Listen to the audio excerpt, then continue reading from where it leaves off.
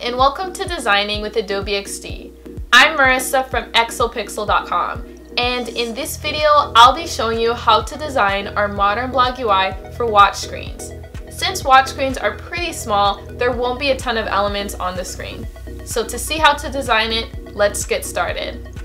First, select the artboard tool from the left-hand side toolbar and open the Watch 42mm artboard.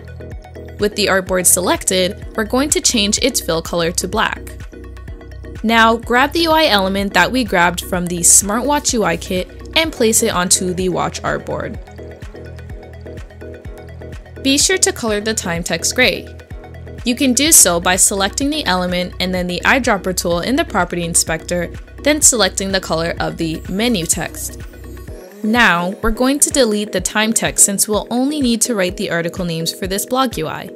To customize our article list, we're going to first add our featured images. Since this is a repeat grid, all we need to do is drag and drop our selected images from the folder right onto the main background image object. To update each article title, I'm going to drag and drop a single return separated text file to do the same magic as with our featured images.